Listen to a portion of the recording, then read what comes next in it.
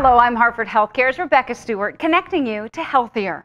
About four years ago, a new procedure came about for patients considered too frail for open heart surgery. TAVR. It was a game changer, minimally invasive heart surgery. And one man became the first patient in Connecticut to have his new valve inserted through his carotid artery. Carl Danielson's heart valve was failing, and much like the machines he used to make, wear and tear had taken a toll. But he wasn't in the best of health. Open heart surgery out of the question. The solution would be transcatheter aortic valve replacement, or TAVR, a heart valve treatment most commonly used to treat a tight aortic valve.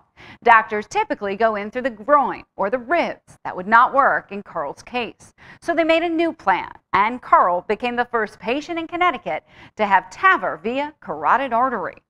We look at the patient um, as a whole and we try to figure out the best way that we can do a procedure with the least amount of harm.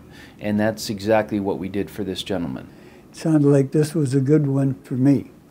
It is a minimally invasive surgical procedure. Instead of an open heart procedure where surgeons have to make a big incision, TAVR surgeons don't actually remove the old valve, instead put a replacement valve in place.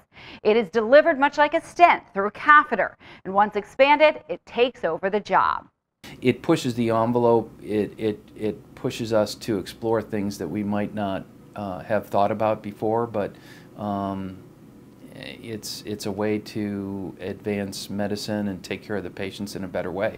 Now the procedure is becoming more and more common, and cases like Carl's help further medicine for everyone.